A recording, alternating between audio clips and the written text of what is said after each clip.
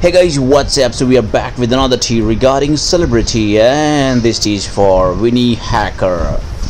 So, on a post written, "No schoolboy ever saw me," a girl has claimed that Vinnie Hacker had followed her some time back. So let's see that. Boy at school never looked at me.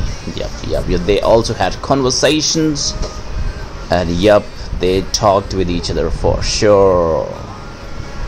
And Vinnie liked that girl actually. And Vinnie also um, accepted that on TikTok insider page later on.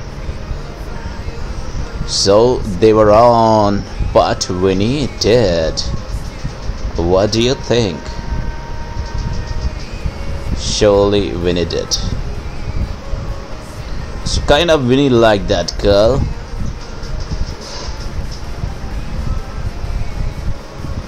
surely. There you go, Vinnie Hacker. Alright guys, bye bye. We'll see you once again.